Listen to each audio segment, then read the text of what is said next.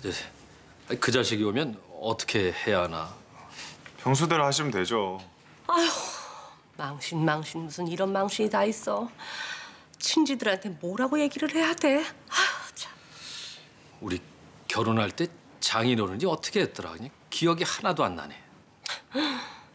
우리 아버지 앞에서 무릎 딱 꿇고 따님 손에 물 한 방울도 묻히지 않게 하겠습니다. 그랬었죠? 그랬나? 손에 물 한 방울?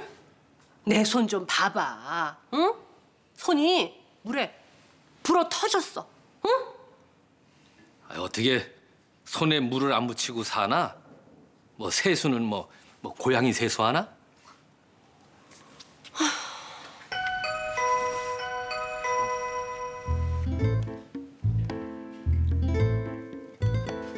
레오. 선물. Siete così elegante che ho dimenticato i fiori. 엄마가 꽃보다 훨씬 더 아름답대. 뭐해? 안 받아? 땡큐.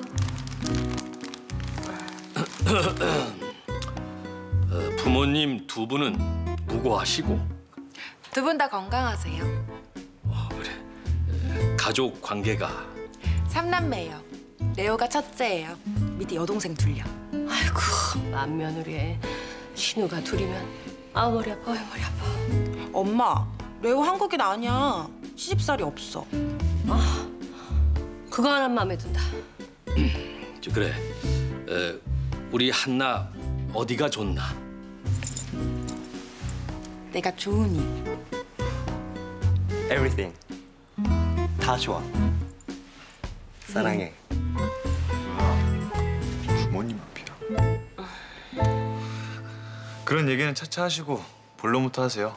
어, 그럴까? 그래.